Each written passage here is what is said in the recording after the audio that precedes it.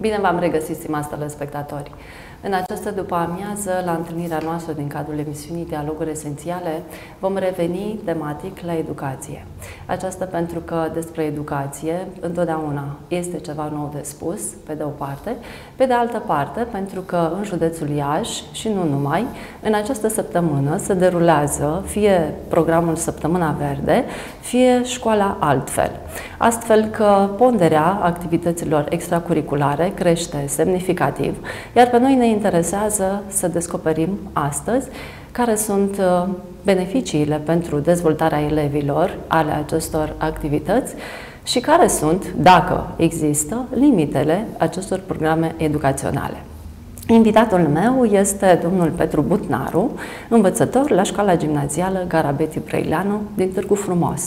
Vă suntem recunoscători pentru că ați acceptat invitația noastră. Bine ați venit la Dialoguri Esențiale. V-am găsit, mulțumesc și eu pentru invitație, îmi face plăcere. Cum simt copiii dumneavoastră? Care este atmosfera în clasa dumneavoastră în cadrul săptămânii Școala Altfel sau uh, a programului uh, Săptămâna Verde?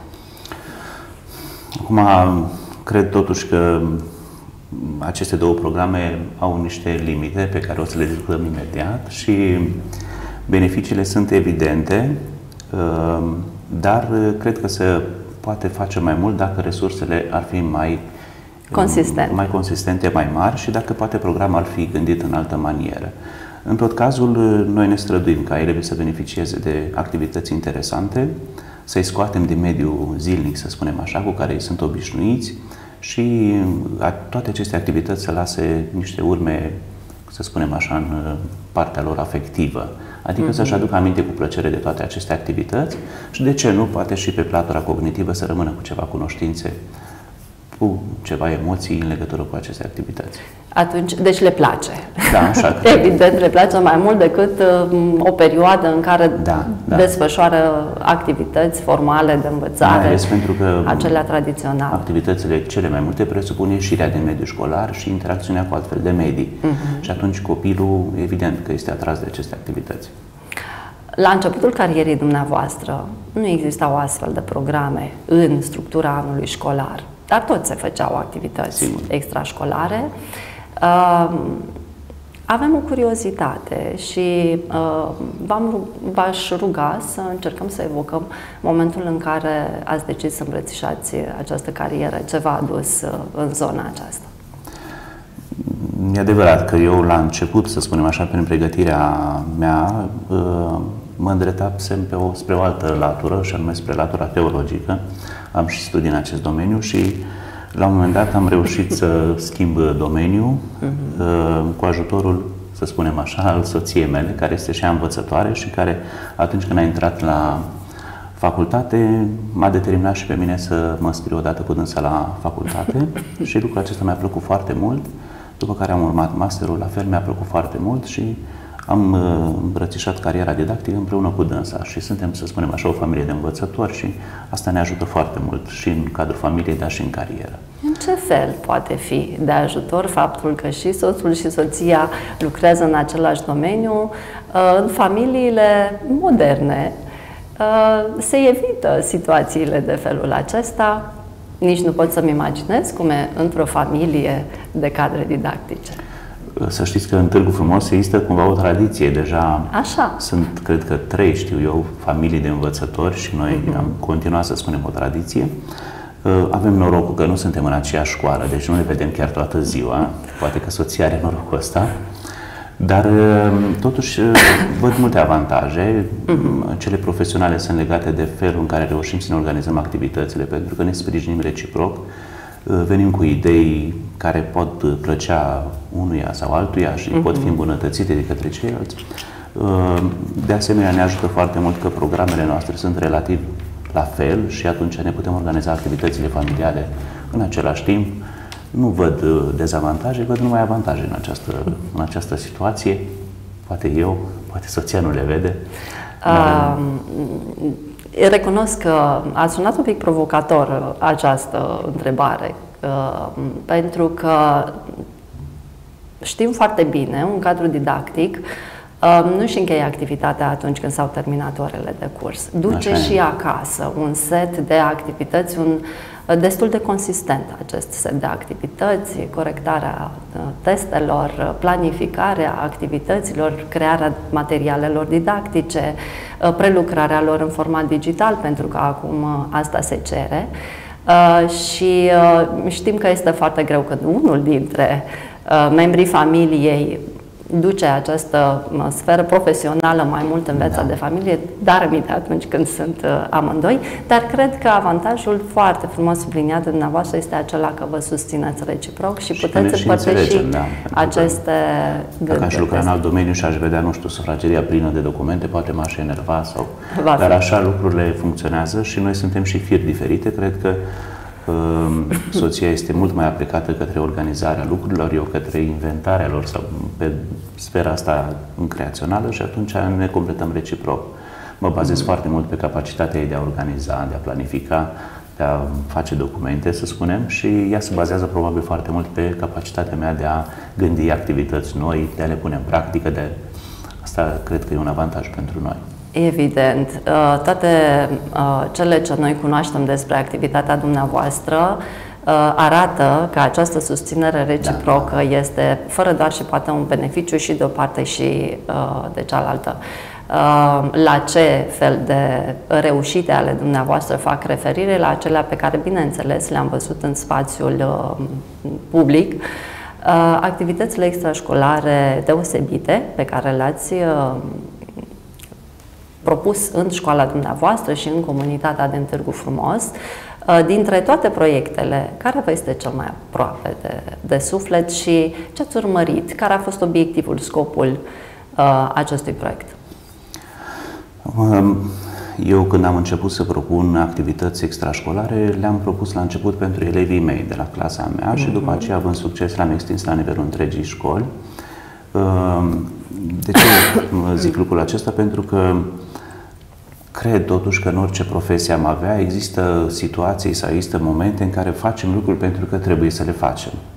Indiferent cât de provocatoare ar fi meseria sau cât de provocător ar fi jobul, totuși momentele acestea în care te duci la serviciu doar pentru că trebuie să te duci, există în viața fiecăruia dintre noi, nu are sens să și ce ne scoate totuși din zona aceasta de rutină, ne scot aceste momente pe care le putem insera în activitatea noastră, dar și în activitatea elevilor, în așa fel încât să ne creștem foarte mult motivația de a mai merge la serviciu, de a ne face treaba. Mm-hmm. Și pentru mine motivația aceasta, cel puțin la început de carieră, că de motivație financiară nu putea fi vorba, ă, aceasta m-a provocat foarte mult și anume să găsesc modalități pe care să mă facă să mă duc cu plăcere la serviciu, la școală, să-i văd și pe copii bucuroși în urma asemenea activități și atunci am ales uh, ca destul de des să inserez în activitatea lor, în programul lor, activități extrașcolare, zic eu, foarte bine organizate și gândite nu neapărat să apară pe o hârtie, ci să apară cumva în mintea lor.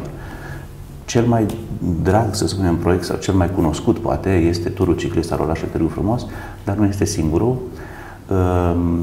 Ehm, de cât timp uh, este, există acest la program? ediție, adică a avut loc a 8 mm-hmm. ediție anul acesta și ne bucurăm că în fiecare an uh, poate punem puțin mai mult uh, și din perspectiva premiilor pe care le oferim și din perspectiva activităților pe care le facem în aceste situații.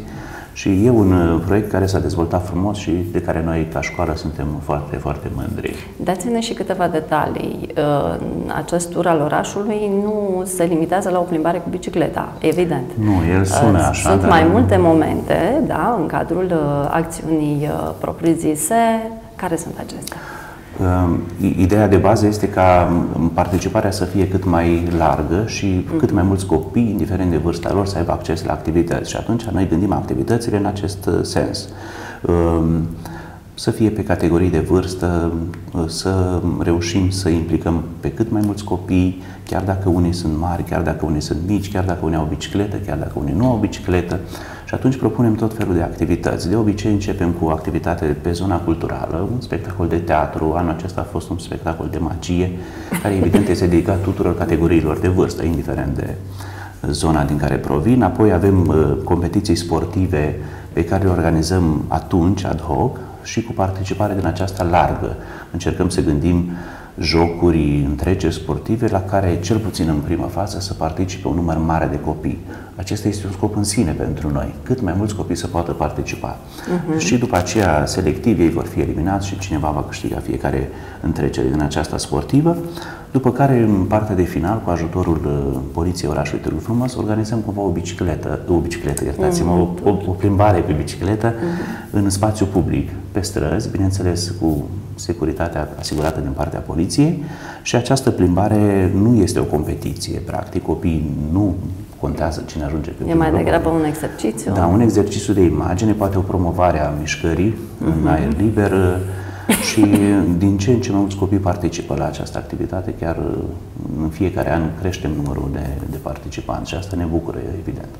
Am înțeles că poliția este unul dintre partenerii dumneavoastră în acest uh, da, proiect, dar pe lângă această instituție, cu siguranță, Sigur, și primăria uh, orașului participă a sprijinit tot timpul activitatea și principalii, să spunem, susținători sunt sponsorii, uh-huh. pentru că avem un, uh, să spunem așa, un număr important de oameni binevoitori din Târgu Frumos, care au mici afaceri și care, punând mână de la mână, reușesc să ofere copiilor premii zic eu, importante. Care să fie cât de cât uh, da, și atractive cumva și da, pentru, da, da. pentru copii.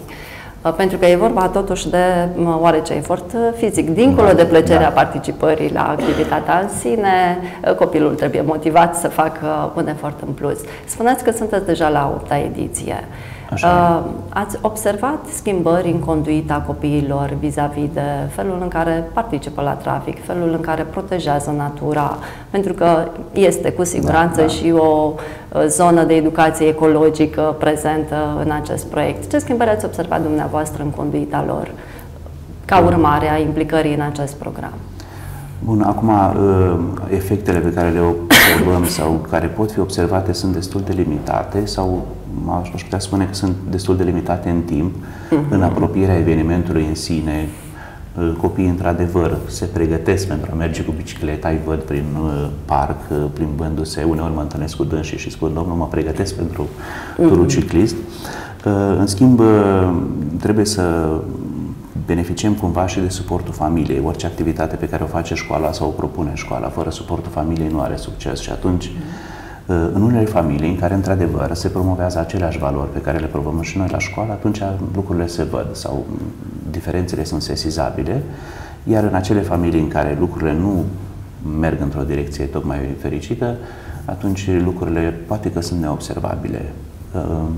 Uneori sunt pesimist, uneori sunt optimist în legătură cu efectul activităților, dar să știți că în ultima vreme am devenit mai optimist, pentru că văd familii foarte implicate și văd copii din ce în ce mai mulți care uh, înțeleg ce face pentru ei și chiar uh, Ceea ce vă doriți este ca uh, tinerii uh, care participă la uh, acest uh, program, proiect, uh, în mod special, uh, Uh, să descopere că e sănătos să facă mișcare în aer liber, da, să descopere bicicleta ca mijloc de, de, de transport, de deplasare, uh, astfel încât uh, să nu fie necesară parcurgerea drumului către școală în fiecare zi cu mașina, pentru că lucrurile acestea cresc poluarea și ne afectează calitatea vieții. Pe de altă parte, să știți că am observat foarte mult că tinerii se îndreaptă către mijloace din acestea electrice de deplasare. Uh-huh. Nu mă refer la mașini uh-huh. neapărat, uh-huh. trotinete, altfel de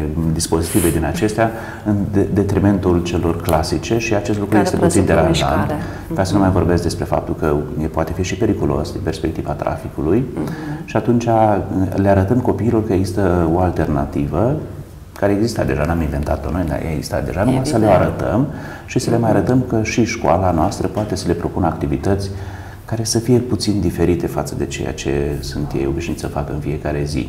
Deci asta îmi doresc foarte mult, copilul să vadă în școală un loc în care activitățile nu sunt din zona plictisitoare, ci periodic, există ceva ce poate fi atractiv, chiar dacă nu pentru toți, pentru foarte mulți dintre, dintre ei. Și o dovadă că acesta este gândul care vă, vă mână în direcția asta este faptul că anul acesta ați propus un nou, nou proiect pentru comunitatea din da, Târgu Frumos. Da.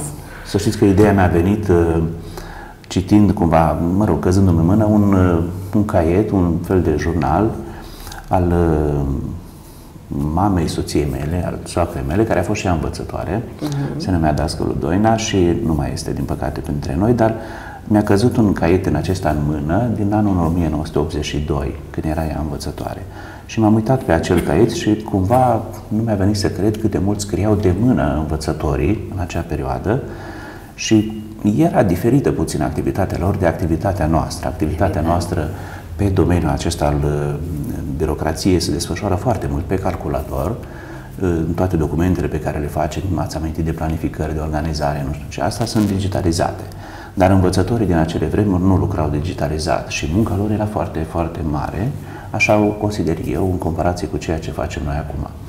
Și văzând acel jurnal, să, să spunem așa, și văzând felul în care scria, atunci m-am gândit să încerc și eu pentru o scurtă perioadă să scriu uh, testele copiilor, să le scriu de mână.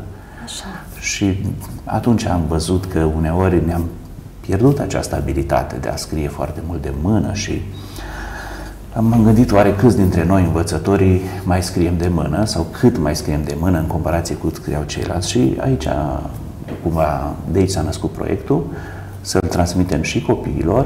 Am mhm. gândit, să spunem, un scenariu, am prezentat colegilor și după aceea s-a concretizat cu ajutorul conducerii școlii, cu colaborarea bibliotecii din orașul Târgu Frumos. Cred eu că a ieșit o primă ediție foarte faină, urmând ca acest concurs uh, să îl transformăm, să spunem așa, într-o tradiție și în fiecare an să-l organizăm cu un număr mai mare de participanți. Oricum, anul acesta a fost uh, un număr peste așteptări. Au fost 80 de copii care au participat, noi ne așteptam undeva la 40, deci s-au dublat uh, așteptările. În imaginele pe care le-am uh, găsit uh, referitoare la acest eveniment, am văzut și un număr consistent de adulți. Ne gândeam că aveți secțiuni și pentru adulți, ar fi provocator, ar fi, mă da. gândesc, da. cât și pentru copii. Nu e destinat doar copiilor. Am făcut o provocare. Asta a reieșit.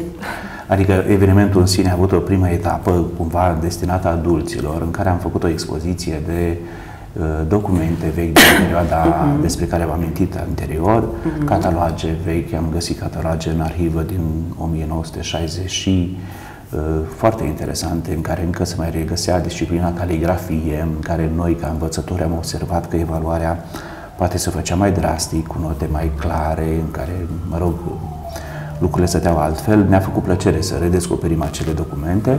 Deci vă spuneam despre această expoziție la care au participat o serie de părinți invitați și o serie de colegi, profesori, după care am avut uh, un seminar organizat cu o, în colaborare cu un cabinet de psihologie, tot pe um, subiectul acesta al efectului scrisului de mână asupra creierului. Uh-huh. Foarte interesant din punctul meu de vedere.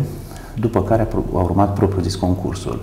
Dar uh, spuneați de adulți și am avut o provocare pentru colegi. Um, fiecare dintre profesorii participanți a scris pe un bilețel un enunț al unui exercițiu, să spunem, o sarcină de lucru, uh-huh. fără să se semneze și atunci, la sfârșitul concursului, copiii au ales cel mai frumos scris de mână uh-huh. al profesorilor. Și uh-huh. să știți că chiar a câștigat o doamnă învățătoare, nu ne așteptam și a fost cumva un moment interesant în care uh, copiii au evaluat pe noi profesorii și a fost fain. Cred că este important să subliniem următorul aspect. În școli, astăzi ducem o adevărată luptă în ceea ce privește uh, ai convinge pe copii că este important uh, să scrie lizibil măcar, dacă nu uh, foarte plăcut ochiului, Uh, că facem exerciții uh, speciale pentru a le dezvolta această abilitate, dar că nu întotdeauna reușim, mai ales că examenele de final de ciclu, evaluarea națională și examenul de bacalaureat uh, în continuare se dau în această formulă, în acest format. Elevii scriu de mână. Uh, deci este o necesitate, scrisul, lizibil măcar dacă nu uh, din punct de vedere estetic foarte, foarte uh, plăcut. Uh, și atunci mă gândesc că astfel de activități, cum, uh, cum este concursul pe care dumneavoastră l-ați propus, uh, ar fi bine să, să se înmulțească. Mai ales că, după cum ați subliniat, scrisul are un impact uh, destul de important asupra dezvoltării noastre cognitive. Dați-ne câteva detalii desprinse de acolo din atelierul pe care l-ați uh, susținut uh, cu ajutorul unui psiholog, am înțeles. De ce? Ca să ne fie și nouă uh, utilă discuția dumneavoastră în sensul acesta de a aduce argumente mai multe în clasă către elevii noștri care se încăpățânează să, să fie certați cu, cu instrumentele de scris în continuare. Să știți că tot timpul m-am întrebat dacă scrisul frumos, scrisul caligrafic este un rezultat al uh, geneticii, să spunem, așa, așa s-a, mm-hmm. s-a născut fiecare, sau este o chestiune învățată pe care o putem dobândi. Și au fost întrebări din zona aceasta către doamna Arion, care a fost prezentă acolo și domnia sa a spus că cele mai multe studii uh, actuale arată că totuși înclinația către coordonarea aceasta minte, ochi, mână, uh-huh. e pe latura aceasta genetică, adică sunt copii, sunt persoane care se nasc cu înclinația de a avea o coordonare mult mai bună. Pe de altă parte, domnia s-a subliniat foarte mult, să spunem așa, că orice lucru se poate învăța sau se poate corecta și este absolut greșit să mergem pe ideea aceasta că bine, dacă ne naștem cu această abilitate vom scrie frumos și dacă nu ne naștem vom scrie urât. Nu orice lucru se poate învăța și se poate modela, să spunem, evident, până la un anumit punct. Niciodată, dacă eu nu m-am născut cu o abilitate de a picta, să spunem, foarte frumos, sunt persoane care se nasc cu asta, e un talent, atunci nu voi ajunge poate la nivelul acela, dar cu siguranță voi reuși să fac niște lucruri faine sau frumoase și pe care cineva le poate aprecia. Deci este bine să le transmitem copiilor că atunci când au dificultăți de scriere, scrisul urât, să spunem așa, se poate îndrepta. Uh-huh. Și uh, doamna recomandă uh, cumva exerciții din acesta, de zona coordonării dintre ceea ce vede copilul și cum acționează. Spre exemplu, am invitat o tânără uh, elevă, Daria Tomei, să cânte la pian, ea face lecții de pian și atunci a dat-o ca exemplu pentru felul în care un pianist reușește, cel puțin în prima parte a carierei, în care trebuie să urmărească și partitura și clapele și să-și coordoneze și mișcările degetelor, uh-huh. e un exercițiu foarte util și care ajută pe zona aceasta a coordonării.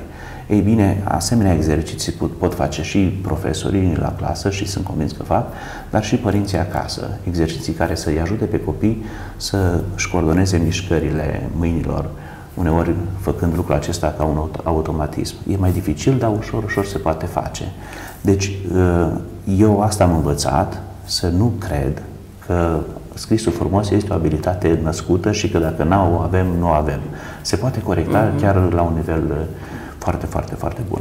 Este foarte prețioasă sublinierea cu care ați încheiat uh, expunerea dumneavoastră și vă mulțumim pentru ea. Personal, voi folosi acest moment efectiv pentru uh, discuțiile de la nivelul clasei, pentru că, după cum spuneam, ne confruntăm cu această situație. Am înțeles uh, din uh, expunerile dumneavoastră despre cele două proiecte că ele sunt gândite așa pe, pe două segmente. Unul uh, vizează conștientizarea uh, tinerilor, uh, a elevilor, asupra uh, resurselor proprii pe care le au pentru a îmbunătăți tot ceea ce ține de uh, zona practică. Cealaltă parte vine, bineînțeles, cu învățarea. Ei descoperă situații noi de viață, cunoștințe noi în cadrul acestor proiecte.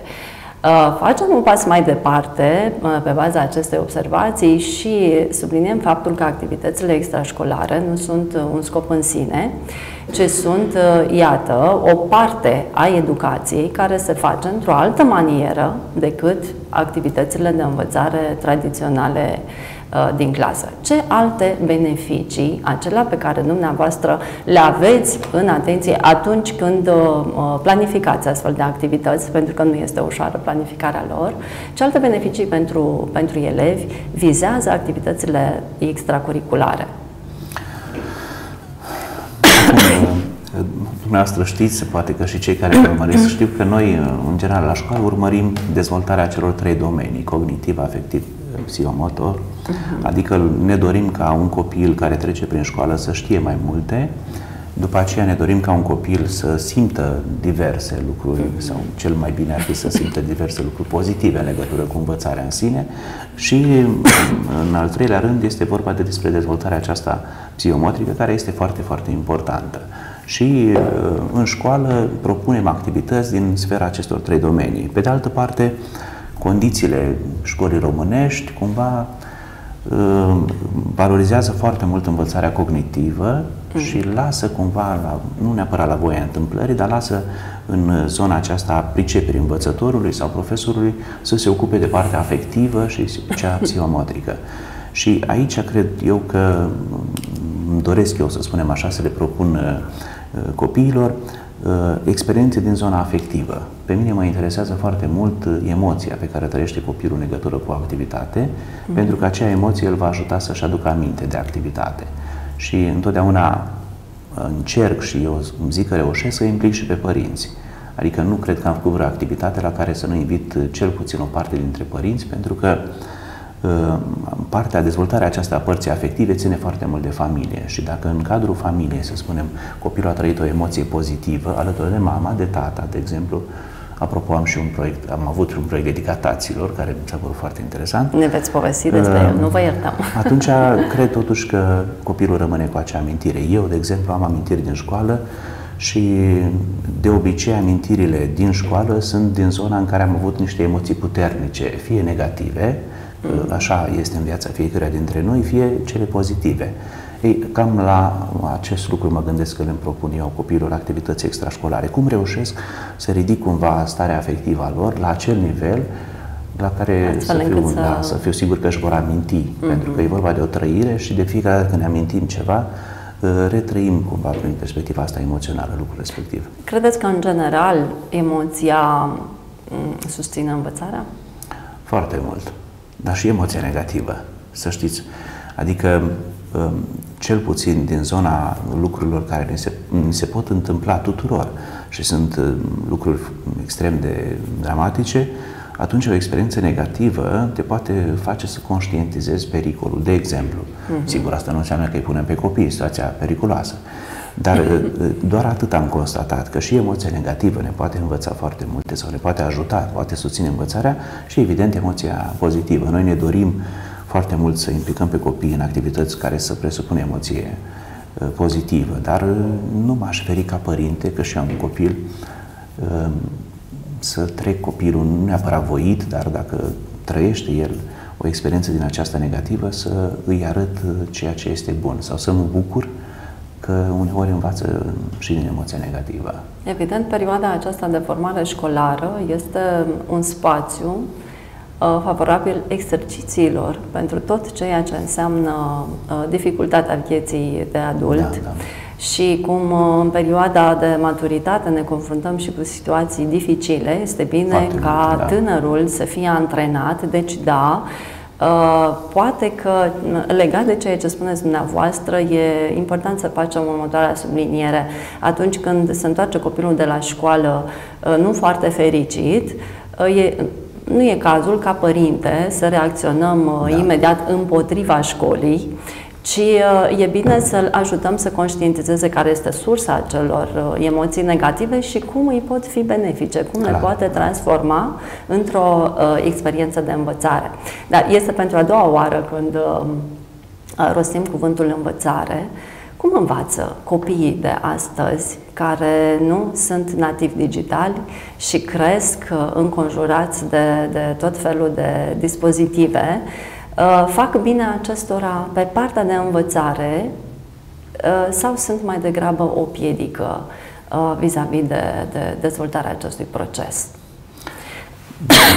lucrurile sunt împărțite. Din câte am observat eu, se creează două tabere, cele care sunt, să spunem, pro-manierilor tradiționale de a face uh-huh. școala și o altă tabără care susține foarte mult uh, integrarea tehnologiei în procesul de predare și cel de învățare. Um, eu, na, voi merge pe calea de mijloc. Este adevărat că dacă studiem, uh, să spunem așa, efectele negative, ele sunt suficient de multe și uneori îngrijorătoare. Dar și dacă studiem efectele pozitive, ele sunt suficient de multe și uneori îmbucurătoare. Sunt discipline care Cu ce să începem? Nu știu, aș începe cu cele pozitive. Cu cele pozitive. Haideți să începem Sunt discipline care, într-adevăr, sunt mult ajutate de tehnologie și aici aș aduce aminte de matematică, de, în general de discipline Științele. din zona mm-hmm. exactă, de domeniul științelor, care cumva, cred eu, că nu mai pot fi predate fără ajutorul tehnologiei și nici uh, materialele, resursele de care dispune profesorul, dacă ar renunța la cele uh, tehnologice, ar fi foarte limitate și cumva n-ar reuși să gestioneze întreg procesul. Vă puteți uh, imagina că predarea geografiei uh, fără o hartă digitală, fără, uh-huh. e mhm. foarte dificilă sau destul de dificilă să vină profesorul să care hărțile, să le schimbe, să le... Uh, la fel și copiii pot uh, utiliza tehnologia foarte ușor în aceste domenii. La matematică, de exemplu, se poate utiliza mai ales noile tehnologii de predare, tabla interactivă, unde copilul poate să aibă acces foarte ușor la o suprafață digitală cu care poate interacționa și eu o văd foarte utilă. Uh, capacitatea lor de înțelegere este mult ajutată, pentru că știm cu toții, unii copii au nevoie de, mă iertați, unii copii au nevoie de lucru cu material concret, nu să facă ca să poată înțelege, alți copii au nevoie de reprezentări ale materialelor concrete și alți copii deja trec la etapa superioară unde lucrează direct cu numere. Ori la acești copii care au nevoie de lucrarea cu reprezentarea obiectelor, de exemplu, tabla interactivă ajută foarte mult și copilul încearcă și de cel multe ori reușește să-și dea mm-hmm. seama cum se adună, cum se scade, cum... Nu, nu văd ceva greșit și chiar văd un beneficiu foarte, foarte important. Pe de altă parte, ajungem cumva în zona blamată și anume a dependenței de tehnologie. Mm-hmm. Aici cred că este rolul profesorului, rolul familiei să poată să cumva să-l direcționeze pe copil, să-l învețe ce e bine, ce e rău. Să știți că am experiențe din acestea și pozitive, în care copilul care utilizează destul de des tehnologia și la școală, dar și acasă, nu devine un uh, inadaptat, ci din potrivă îl văd cu relații sociale foarte frumoase, cu prietenii, uh, cu o capacitate de învățare crescută, dar e adevărat că sunt și cazuri în care copilul care are capacități sociale mai reduse, care este mai introvertit uh-huh. și așa, um, uneori dăm vina pe această, mă rog, dependență de tehnologie care l-a dus în starea asta. Nu putem ști exact care sunt Considerați cauzele. că um, adultul este cel responsabil da, da, da, da Uh, de uh, obișnuirea copilului vis-a-vis de utilizarea acestor da. Uh, dispozitive într-un mod echilibrat, astfel încât să-i fie util în învățare, dar să nu uh, devină dependent de, de ele. Și, și procesul în sine, procesul de învățare care se întâmplă în școală, ar trebui susținut, să spunem, și din perspectiva asta informatică, dar și din perspectiva concretă. Dacă mm. profesorul avea acces la niște resurse didactice, poate mai uh, Uh, concrete, ar fi tentat să lase puțin tehnologia deoparte și să-i pună pe copii să experimenteze. Uh-huh. Dar atunci când accesul acesta este destul de dificil, mă gândesc la laboratoare, la săli cu materiale didactice diverse, cum erau când eram eu copil, când eram elev, era, uh, mi-amintesc cu plăcere când intram în laboratorul de chimie al școlii de la mhm. Cotnar, unde a făcut școala, era o încântare. Ori noi acum nu dispunem de un asemenea laborator și...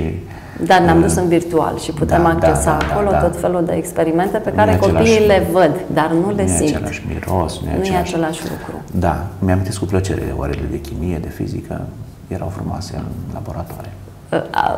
Este clar de unde vine concepția dumneavoastră subliniată mai devreme că e important. Da. E importantă emoția pe care mm-hmm. o trăim în clasă, niște lucruri pe care vrem să le luăm cu noi pentru tot restul vieții se întâmplă să, să le avem cu noi în forma aceasta dacă suntem uh, antrenați emoțional atunci când facem da, efortul da. de a le achiziționa. Uh, o componentă foarte importantă a activității unui învățător, a profesorilor în general, dar a învățătorilor în mod special, este relația cu familia elevului.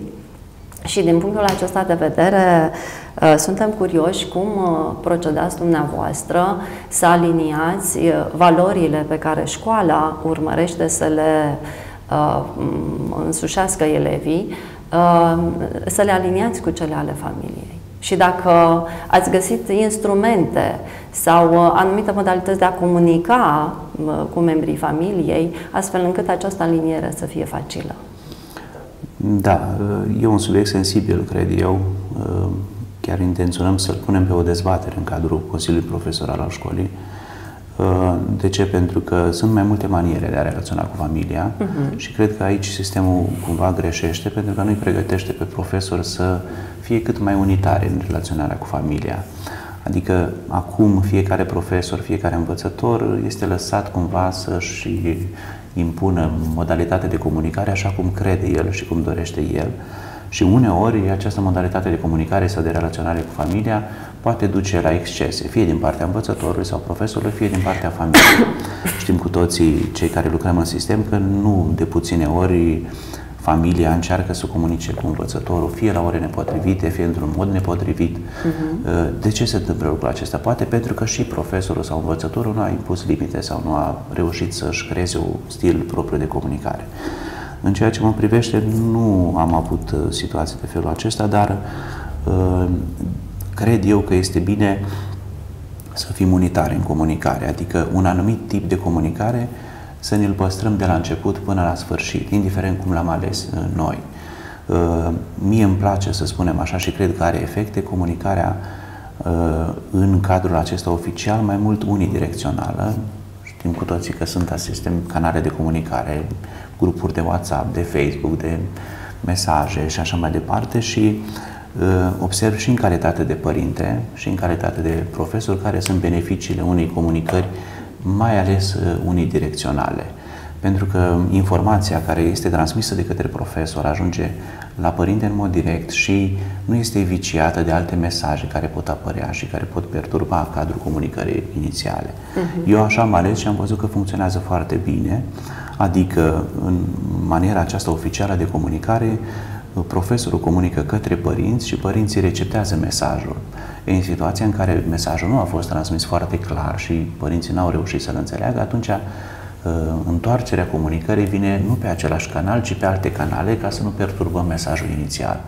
Înțelegeți? Și eu am văzut că funcționează foarte bine această manieră de comunicare. Uh-huh. Pe de altă parte, uh, cred totuși că o comunicare din aceasta asertivă funcționează fără prea multă emoție, nici lipsită de emoție, adică o comunicare în care profesorul transmite informații, părintele le receptează și dacă simte nevoia să transmită informații mai detaliate, atunci poate organiza aceste întâlniri cu părinții care sunt mai utile decât uh, comunicarea în zona digitală.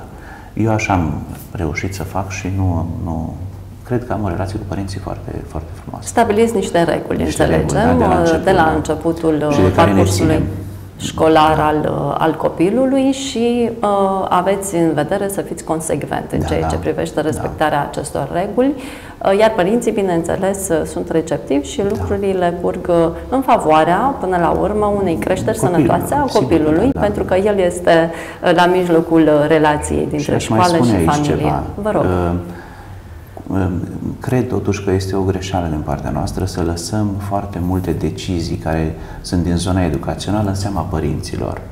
Știți, sunt activitățile acestea didactice care clar cad în sarcina profesorului, dar sunt și activitățile extrașcolare sau activitățile din acestea conexe pe care le organizăm și pe care unii dintre profesori le mai lasă în seama părinților în perspectiva, din perspectiva organizării lor.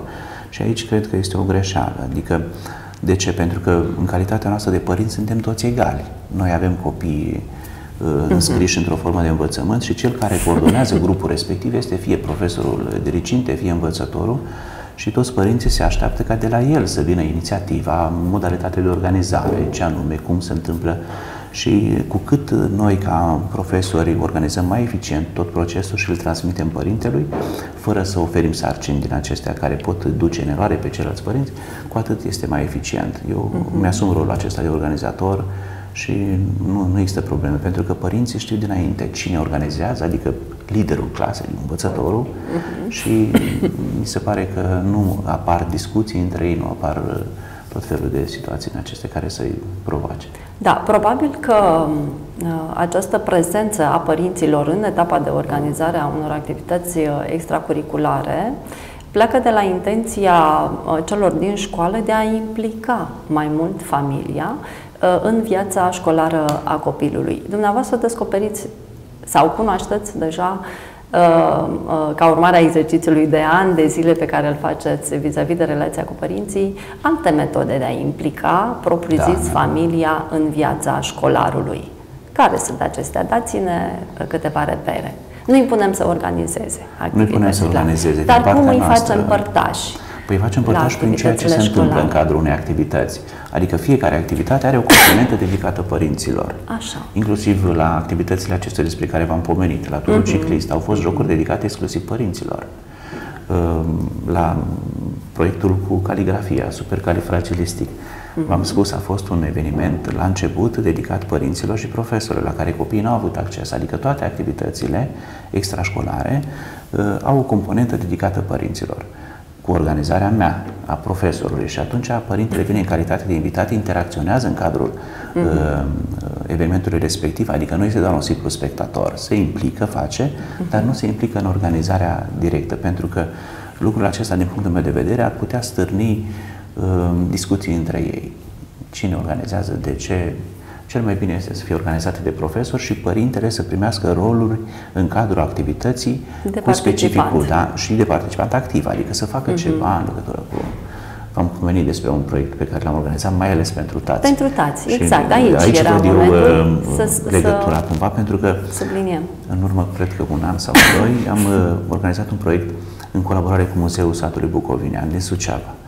Și ideea mea a venit uh, într-o vizită acolo și am văzut tot felul de obiecte din acestea de lemn pe care le-am recunoscut uh, din copilărie, să spunem, și m-am întrebat cât dintre, câți dintre elevii mei mai au prin case sau prin gospodărie asemenea obiecte. Uh-huh. Și uh, concluzia la care am ajuns este că sunt destul de puțini și pentru faptul că aceste obiecte care sunt în muzeu și care făceau parte din gospodăriile tradiționale erau create chiar de către gospodari, gospodari mai ales de către tații din mm-hmm. familia respectivă. Bărbații, da. Da, și atunci am uh, decis să inițiem un proiect în colaborare cu muzeul și proiectul s-a intitulat Tatăl meu, voi fi și eu, mm-hmm. în ideea că ceea ce vedem cumva la adulți, respectiv la tată, vom pune în practică și uh, în principiu, copiii au avut de recreat un obiect ales din muzeu uh, împreună cu tatăl lor, un obiect din lemn. Cei mai mulți au ales obiecte din lemn pentru că zona de fier era destul de dificilă. Uh-huh. Și să știți că s-au creat uh, foarte multe obiecte din acestea din lemn, create de la zero și o condiție esențială a fost să nu se folosească uh, utilaje sau unelte electrice. Adică Ți alegeai, nu știu, o covată sau ceva și trebuia să o creezi absolut tradițional, folosind ciocanul de alta. Uh-huh. Au fost și alte obiecte, blidare, dacă știți, de pus da. în farfurii și nu știu ce. și uh, a fost un număr impresionant de copii. Cred că toată clasa a participat alături de tata. Uh-huh. Toată etapa aceasta trebuia documentată cu fotografii, cu așa și s-a făcut un fel de mică competiție și cei de la Uh, muzeul au ales cumva cuplul uh, format de între tată și fică sau fiu, uh, cuplul câștigător și a primit din partea muzeului, mai mulți copii au primit o vizită acolo gratuită și niște albume foarte interesante. A fost Pe când o a doua ediție O să mai organizăm, dar asta am făcut-o pentru, pentru clasa mea, poate uh-huh. că o să mhm. extindem la nivelul școlii. Uh-huh. Să știți că, din câte observ eu, componenta asta masculină în învățământ este foarte redusă și chiar la ședințele cu părinții participă foarte multe mame și tați mai puțin. Și în general, de, în situația școlară se interesează foarte multe mame și tații mai puțin. Nu știu de ce, asta e o constatare. Uh-huh. Poate că și pentru că noi nu reușim să implicăm pe tați și în ideea asta am făcut proiectul. Bine, acum eu sunt și eu bărbat și am cuba un interes în zona asta, dar uh, mi s-a părut uh, un proiect uh, de foarte mare impact pentru... Mă gândesc la cât de intense au fost emoțiile acelui da, copil care a lucrat mai da. multe ore alături de tatăl său pentru realizarea acelui uh, obiect. Tot vorbim și psihologii ne amintesc frecvent astăzi că e important timpul de calitate petrecut. Nu, nu e de ajuns doar să stăm în camera copilului când da. el lucrează separat și eu separat, ci să interacționăm. Și atât noastră, cred că mai ales acest aspect l-ați realizat în proiectul. A fost greu tăticilor să facă. Cu și siguranță. Uneori poate că m-au judecat, dar până la urmă Cred că au descoperit și dumnealor da. și au conștientizat mm-hmm. cât de mult pot contribui prin lucruri mărunte la da. Uh, dezvoltarea copilului, mai ales pe segmentul acesta uh, emoțional. Ne vom opri acum pentru o foarte scurtă pauză de publicitate. Stimați telespectatori, rămâneți alături de noi, continuăm discuția imediat.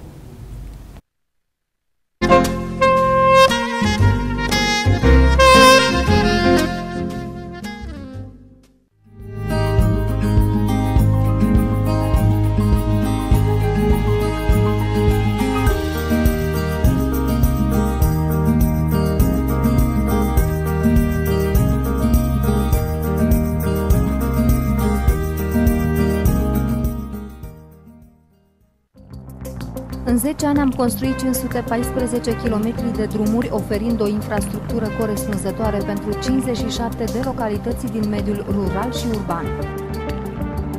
De 10 ani comercializăm materiale de calitate, beton și fier beton, cărămidă și vecea pentru zidării, termoizolații, finisaje, acoperișuri și garduri. Vino și tu la depozitul din Târgu Frumos, strada Justiției, numărul 25, pentru a beneficia de o gamă largă de produse. Toți clienții beneficiază de consiliere tehnică, certificate de calitate, livrare gratuită și descărcare cu Macaraua. Echisam, pasiune pentru drumuri, materiale de calitate. Brutăria Țac-Țac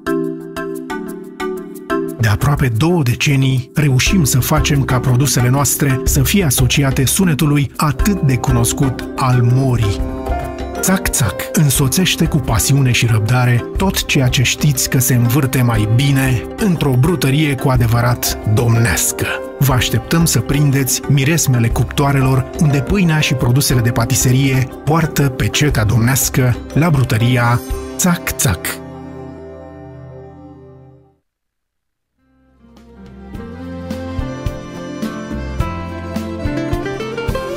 Sono triste fra la gente che mi sta passando accanto.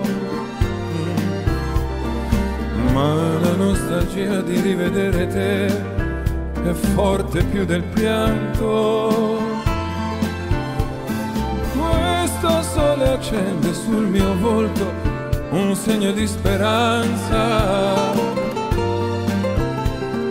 Sto aspettando quando a un tratto ti vedrò spuntare in lontananza. Amore, fai presto, io non resisto. Se tu non arrivi, io non esisto, non esisto, non esisto.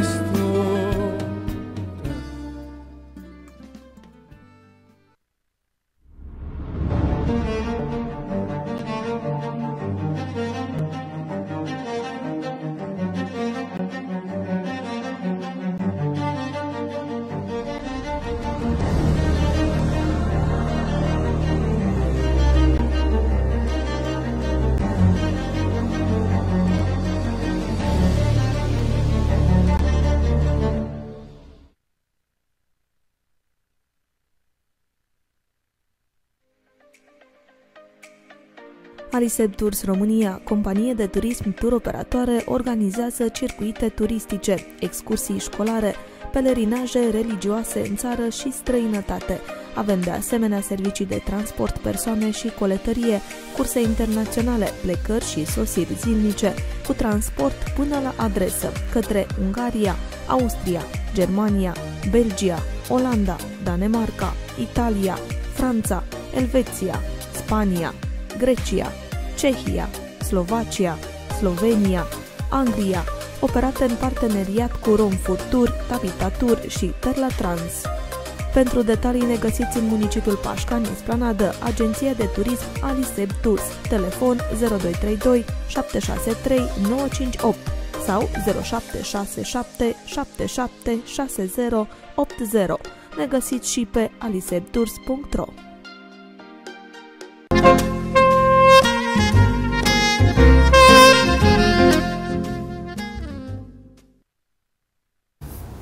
Am revenit alături de dumneavoastră, stimați telespectatori. Vă reamintesc faptul că astăzi discutăm despre beneficiile educației non-formale uh, și despre modalitatea în care activitățile extrașcolare vine în completarea uh, învățării tradiționale uh, care se întâmplă în școli. Invitatul meu este domnul învățător Petru Butnaru de la Școala Gimnazială Uh, Gara Betty Brăileanu din Târgu Frumos. În prima parte a discuției noastre uh, am uh, trecut în revistă o serie de proiecte extracurriculare pe care domnul învățător le propune în comunitatea școlară în care își desfășoară activitatea, dar și în comunitatea extinsă a orașului Târgu Frumos. Iar în ceea ce urmează, domnul învățător, o să vă invit să ne împărtășiți părerea dumneavoastră despre valorile pe care uh, considerați că e potrivit ca generația tânără să și le însușească până la finalul uh, uh, încheierii, până la finalul uh, parcursului școlar. Atunci când au ieșit de pe băncile școlii, uh, ce calități, ce valori să fie în stare tinerii să ducă spre societate? Cred că cumva niciodată nu se încheie procesul acesta de formare Evident. a unei valori și... Evident, dar școala are um, rolul sigur, cumva de a le semăna. Da, și aceste trebuie cultivate în primul rând de către familie, adică copilul ar trebui să vină de acasă către școală cu uh, mici, să spunem, începuturi ale acestor valori pe care le cultivă în familie și școala doar uh-huh. să completeze.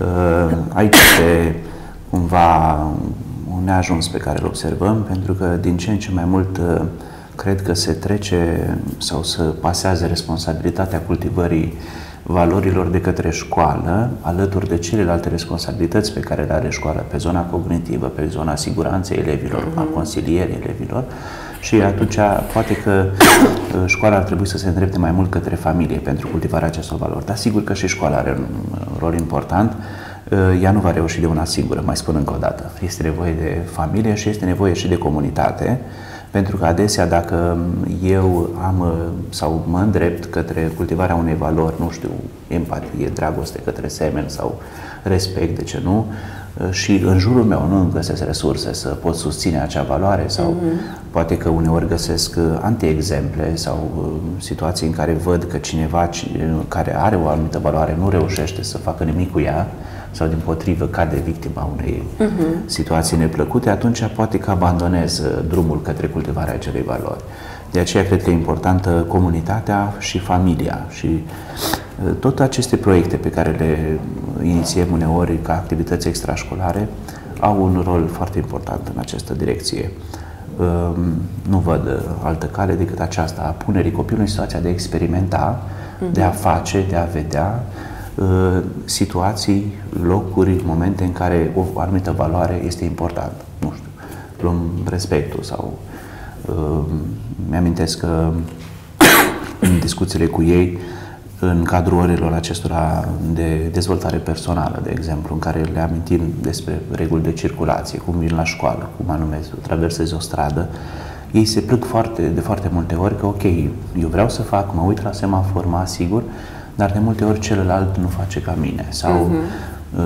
nu mă refer mai la șofer și ceilalți copii și uh, deci trebuie să, ca fiecare elev să simtă suportul comunității sau suportul celorlalți pentru a uh, cultiva sau a pune în practică o anumită valoare. Uh, sunt momente din acestea în care noi reușim să facem prin activitățile pe care le propunem și este necesar ca și familia să propună experiențe familiale pentru acest lucru. Aș aminti aici despre un uh, proiect pe care l-am inițiat împreună cu Poliția Orașului Târgu Frumos uh-huh. de educație rutieră. Uh, proiectul se numea Fii responsabil, mama mă așteaptă acasă. Era Ce dedicat frumos. mai uh-huh. mult uh, uh, participanților la trafic, adică șoferilor mai mult.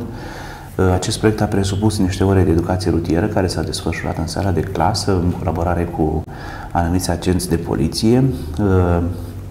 Uh, Aici am implicat și părinții pentru că au participat și ei și chiar au pregătit niște premii pentru cei care s-au uh, descurcat foarte bine, dar partea care a fost interactivă și care le-a plăcut elevilor foarte mult a fost partea din stradă, și anume că cu ajutorul poliției, bineînțeles, uh, îmbrăcați în polițiști, uh, copiii au oprit mașinile în trafic și le-au propus șoferilor încheierea unui contract cu valoare simbolică, evident. Pe contractul respectiv și copiii se angajau să fie mai atenți, să respecte mai multe reguli de circulație, dar și șoferii se angajau că atunci când trec prin orașul Târgu Frumos să fie mai atenți la ceea ce înseamnă respectarea copiilor, admițând faptul că un copil uneori poate să cadă victime, victimă cumva impulsului de moment. Și iată cum școala ajunge prin astfel de proiecte la a educa și pe cei care da. au ieșit de multă vreme de multă din vreme. școală. Și să știți că pentru copii a fost uh, de foarte mare interes și uh, credem noi că a avut uh, succes. M-am întâlnit cu un anume șofer care a primit un asemenea contract și mi-a arătat că încă mai are în mașină uh-huh. contractul acela care era și desenat de către copii și evident cu valoare simbolică, repet. Dar mă gândesc cu... că uh, acest proiect al dumneavoastră ar trebui multiplicat la nivel național. Și în felul acesta s-ar da. putea ca poliția română să aibă surpriza ca de cursul la 5 ani, să spunem, să scadă mult numărul de accidente rutiere în țara noastră. Uh, ideea importantă pe care o aș vrea să o spun este că uh, activitatea din stradă are două componente, adică un echipaj de la poliția rutieră stă undeva în trafic și observă mici abateri de la regulile. Și un alt echipaj oprește mașina și evident, mm-hmm. legitimează pe conducător cu ideea de a-l amenda pentru că a încălcat mm-hmm. o anumită regulă. Și aici intervine copilul. După ce echipajul, mă rog, agentul de poliție pleacă de la mașină cu documentele șoferului, mm-hmm. atunci intervine copilul, îmbrăcat și el într-un agent de poliție și propune șoferului un contract mm-hmm. cu promisiunea că dacă va semna contractul respectiv, agentul este. îl va ierta. Ierta. Și să știți că are foarte mare efect apropo de zona afectivă, pentru că șoferul siguranță. chiar uh, reacționează pozitiv uh-huh. și, mhm. înțeles, cu acordul poliției, el scapă cu o mustrare sau cu un avertisment Evident. și credem noi că șoferul pleacă de acolo cu convingerea că, măi, măcar pentru o perioadă scurtă de timp, voi fi mai atent la un copil sau la mai mulți copii când îi văd cumva prin zona trecerii uh-huh. de mhm. pietoni sau prin zona rutieră. Tocmai de aceea e nevoie să revenim cu proiectele da, da, da. acestea da. și să le extindem. Pe ideea uh, aceasta cu siguranță, ar fi minunat, da. Cu siguranță că... ar fi uh, un beneficiu de toate părțile și, și da. uh, al școlii, în mod special al comunității, da. Uh, da Uh, părinții ar fi mai liniștiți acasă, copiii s-ar simți în siguranță. Poate cu puțin, când... dar e important și acel puțin. Cu siguranță. Uh, ședințe cu părinții în format clasic sau lectorate interactive? Și, și. Sau cum mai spunem noi la clasă, și, și. Așa. Uh, depinde, adică fiecare are specificul său. Sunt importante ședințele clasice pentru că în, cumva în birocrația aceasta activității didactice, ele trebuie puse acolo. Sunt o serie de responsabilități pe care le transmitem părinților, o serie de obligații, o serie de drepturi pe care trebuie să le cunoască, sunt o serie de documente pe care trebuie să le semneze și atunci acest lucru nu se poate face. Deci trebuie și ședință clasică și atunci când avem ocazia să facem și diferite lectorate cu părinții pe diferite subiecte, evident. Aici este problema că uneori ele devin uh, o vorbăraie unidirecțională și că trebuie să implicăm uh, mai mult, uh, depinde foarte mult și de disponibilitatea lor, de disponibilitatea de spațiu, de timp, de resurse și aici. Dar asta este situația acum. Nici părinții nu mai sunt uneori orientați către... Au fost în, uh, de-a lungul timpului, în, în cariera dumneavoastră, momente în care V-a trecut așa prin minte că n-ați luat o decizie bună în ceea ce privește da, această da, meserie? Cred că toți avem momente din acestea.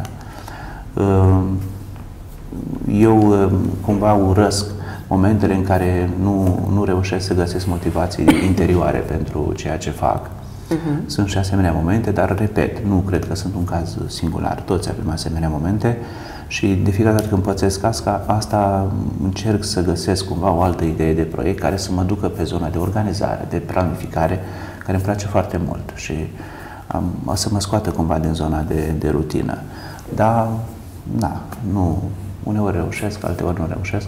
Una peste alta e o activitate frumoasă, o activitate pe care o desfășoară. Dacă ați avea posibilitatea să, să scoateți ceva din școală, ce ați scoate și dacă ați avea posibilitatea să aduceți în școală un, un, un program, o, nu știu, o altă componentă care considerați că ar contribui într-o mai mare măsură la uh, creșterea sănătoasă a societății de mâine, uh, care ar fi aceste aspecte? Că ați început discuția cu aceste două programe despre care uh-huh. ați amintit, eu le-aș schimba. Așa.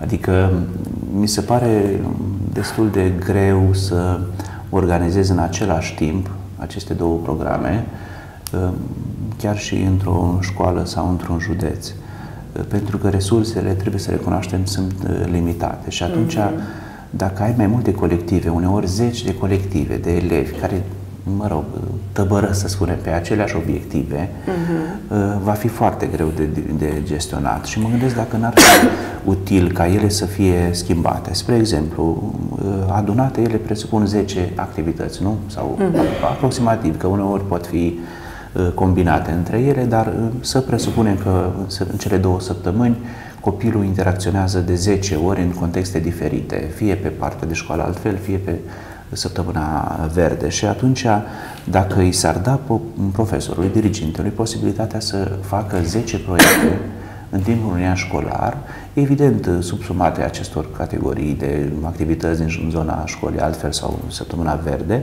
dar să aleagă el momentele în care le face. Adică eu am întâmpinat dificultatea aceasta. Vrei să-i scoți pe copii undeva, să-i duci, să experimenteze.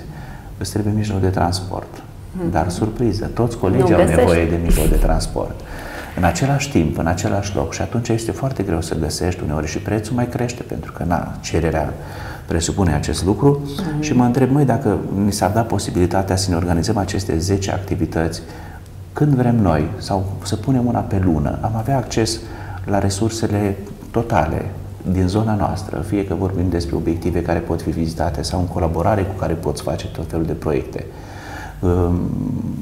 M-am dus, de exemplu, în săptămâna verde la uh, centru de vizitare al Parcului Natural Vânător Neamț, uh-huh. unde am mai făcut niște Stat activități. mult. Știți, dacă aș fi fost într-o altă zi, poate că noi ne-am propus să facem niște hrănitori de păsări, să le punem prin copaci, să... Am făcut, dar puțin pe grabă, pentru că uh, spațiul acela era vizat de către multe colective de copii. Personal, oricât de amabil ar fi fost și oricât de binevoitor, trebuie să facă față unui număr mare de copii Evident. în aceeași perioadă și atunci mm-hmm. calitatea poate că scade puțin. Dar dacă ni s-ar da posibilitatea uh, să organizăm obligatoriu, să spunem, să le organizăm, dar să le organizăm în perioade diferite sau în zone în care ne le alegem noi, eu cred că beneficiile ar fi mult mai mari și uh, am putea să și împărțim această afectivitate a copiilor pe tot anul școlar. Uh-huh. Știți, e o săptămână, altfel, copilul poate se bucură, poate reușim să facem activități interactive, faine, dar după aceea urmează o perioadă în care și profesorul este obosit după săptămâna și după toată organizarea, planificarea de săptămâna respectivă și urmează o perioadă în care el poate că nu mai este aplicat către activități extrașcolare. Uh-huh. De ce nu s-ar face așa? Nu văd, pentru că toată sarcina aceasta a planificării sau organizării tot în, în sarcina profesorului sau dirigintelui cade. Și atunci cred că mult mai util ar fi această Uh, cum să zic eu, desfacere a activităților uh-huh. pe parcursul unui an școlar, sigur, cu toată documentația din spate, nu o contestă nimeni, cu toate obiectivele e propuse de minister. Și sigur că da, acest lucru. Uh, da, cu obiectivele acelea, cu urmărirea scopului activității ca să fie în zona ecologică, sunt de acord cu toate, dar aici văd dificultatea. Bine ar fi ca să avem uh, nu în același timp nevoie de același lucru. Și argumentul este foarte puternic. Crește calitatea da, activității respective, siguranță. copilul câștigă și uh, școala câștigă, de asemenea, prin aceea că mergând acasă, copilul și povestind da, de, da, da. de impactul pentru pe care l-a avut activitatea și pentru familie, activitatea respectivă contează. Dau un exemplu. La, vă aminteam de vizita la centrul de vizitare al parcului unde au, acolo au trecut printr-un proces de modernizare și mm-hmm. e mhm. foarte interesant. Au pus uh, niște ochelari VR cu care copiii pot uh, intra în mediul virtual, să spunem așa, și observă foarte multe specii de uh, plante, animale care uh-huh. sunt în parc, dar pe care trebuie să ai cumva noroc să le întâlnești când vizitezi parcul, că nu poți să întâlnești de porcul mistreț sau vulpea neapărat când te duci tu la plimbare prin parc. Și atunci ochelari te ajută. Dar imaginați-vă 300 de copii să stea la rând da. Uh, pentru o pereche sau două de ochelari. Uh-huh. Este dificil. Dar dacă m-aș fi dus numai cu clasa mea, foarte fain. Adică aș fi avut timp să le povestesc, să le spun. Cu siguranță dintre cei 300 de copii, poate mai bine de jumătate s-au întors acasă supărați pentru da, că ei n-au da, ajuns da, da. la ochelarii S-au ajuns, dar pentru câteva secunde și da. lucrul acesta. Curiozitatea lor nu a fost deci eu, e o idee pe care aș transmite eu aceasta, lăsarea libertății profesorului de a-și organiza activitățile pe tot parcursul anului școlar, mm-hmm. independent de uh, activitățile din școală, pentru că oricum el trebuie să facă aceste 10 zile de activități, să le spunem non-formale, nu? Și atunci de ce să nu le facă când crede el că e de cuvință să le facă? Se pare mult mai productiv și mult mai calitativ pentru elevi. Ok, o idee uh, foarte consistentă și foarte bine argumentată. Uh, simt nevoie să subliniez din nou lucrul acesta. Mai sunt și alte aspecte în zona cărora ați face schimbări? Asta mă doare acum cel mai mult. Nu știu, poate că sunt alte schimbări, dar mi, mi se pare că școala are mult de recuperat pe zona de a oferi copiilor condiții faine de învățare, condiții propice învățării și lucrul acesta în ultimul timp se observă. Sunt niște investiții care urmează să se facă, unele sunt în derulare. Uh-huh. Pe de altă parte, mă întreb cât din ceea ce se face acum, cred că la nivel național există un întreg proces de renovare a spațiilor de învățare, cât din ceea ce se face nu va rămâne uh, simplu niște ziduri. Adică copilul într-adevăr are nevoie de o sală de clasă modernă, de un geam care se închide, prin care nu trece vântul, are nevoie de, nu știu, o tablă interactivă, are nevoie de un pupitru foarte frumos, de o masă, de un scaun, de o ușă, de așa mai departe, dar dincolo de acestea toate vor rămâne niște obiecte dacă nu sunt completate de către uh, alte materiale și sper că acest proces să fie dus până la capăt, adică uh, revin cu acea imagine a laboratorului din uh, copilăria mm-hmm. mea, profesorii, învățătorii să beneficieze de resurse masive și ușor de utilizat, uh, intuitiv de utilizat și ușor de accesat, în așa fel încât să-și poată organiza activitățile, pentru că dacă lăsăm în sarcina profesorului sau a disponibilității acestuia, a creativității acestuia de a organiza, uh, lucrurile pot fi diverse. Adică unii copii care beneficiază de un profesor sau știu și eu, de un învățător mai creativ pot beneficia, dar uh-huh. alții mai puțin. Și, și atunci, atunci nu mai vorbim da, de, de egalitate de, de da. șanse. Sistemul ar trebui să se îngrijească până la un anumit nivel ca toți elevii să beneficieze. Uh-huh. Și mă gândesc că ar putea pune mai mult aici, nu știu, cu materiale didactice interesante, cu laboratoare. Să sperăm că dorința dumneavoastră, care e cu siguranță dorința uh, tuturor uh, celor ce da. lucrează în, uh, în educație, va fi auzită acolo unde trebuie Sper. să fie auzită. În încheiere, încercăm să concluzionăm. Putem spune vreodată că e prea mult, putem folosi această sintagmă în legătură cu activitățile extracurriculare? Ar putea face și rău, ar putea dăuna? Poate, nu știu, n-am, n-am, nu m-am gândit niciodată la aspectul ăsta. Poate că ar fi prea mult, dar uh, nu, nu văd deocamdată uh, situația în care implicarea copilului în activități extrașcolare ar dăuna, pentru că ele nu se fac neapărat în timpul orelor uh-huh. tradiționale și nu văd cum ar putea interfera lucrurile. Uh, planificate riguros, uh, da. Uh, gândite în acord cu nevoile uh, copilului, și... fără doar și poate aceste activități, activități nu fac rău, nu sunt în plus niciodată. Și, și uh, cumva și în acord așa cu felul în care curge, să spunem, anul școlar. Uh-huh. Pentru că anul școlar are etapele sale, care sunt cumva tradiționale și presărarea acestui an școlar cu anumite momente de activități de tipul acesta nu, nu dăunează, nu văd cum ar dăuna. Din potrivă. Da. Ele vin să completeze, vin să susțină, vin să da. ofere copilului uh, Șansa acele de a, momente de relaxare da. emoțională. Și de a învăța poate mai mult. Uh, mi-amintesc aici despre un proiect pe care am făcut anul trecut în preajma zilei de 1 decembrie, uh-huh. care s-a numit România o istorie familială, uh-huh. pentru că i-am pus pe copii în toată școala să aducă la, la școală obiecte care au aparținut familiei lor, obiect, cel mai vechi obiect din familia ta. Și să știți că s-a strâns o colecție impresionantă de obiecte uh-huh. și ne-am dat seama că ceea ce credem noi că am inventat, noi că facem noi pentru prima dată, că nu e chiar așa și familiile copiilor noștri sunt pline de istorii familiale și că toată România aceasta este sau istoria României, să spunem așa, este, este fapt, făcută din istorii familiale, din multe. Familiale, și proiectul a fost foarte fain și asta vă spuneam, a venit uh, mănușă în completarea zilei de 1 decembrie uh-huh. și de ce n-am putea presăra anul școlar cu, în anumite momente din acestea foarte importante cu activități extrașcolare care nu văd cum ar aduce un deserviciu copiilor, ci din potrivă. Apropo de desfacerea uh-huh. săptămânii verzi uh-huh. și cred că ar fi o idee foarte uh-huh. faină să marcăm momentele importante cu activități care sunt pe direcțiile date de minister.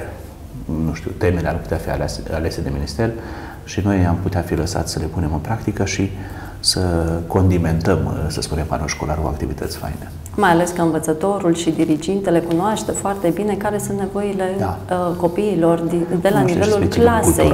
Nu ne putem duce cu lucruri generale către da. toți copiii, da. pentru că nu toți au aceleași nevoi, nu toți au aceleași interese educaționale. Sunt, Evident, există niște tradiții da, uh, ale da. locului ca, pe care copiii uh, este bine să fie uh, învățați să le iubească și să le dea sigur. mai departe. Vă mulțumim tare mult pentru că ați împărtășit cu noi aceste gânduri și ați fost de acord să ne povestiți despre lucrurile minunate pe care le faceți, odată pentru copiii de la clasă și încă o dată pentru întreaga comunitate.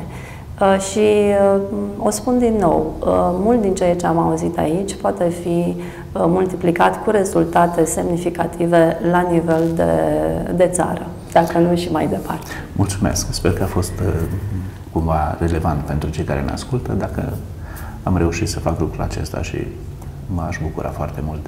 Vă mulțumim și vă dorim mult, mult succes! Mulțumesc!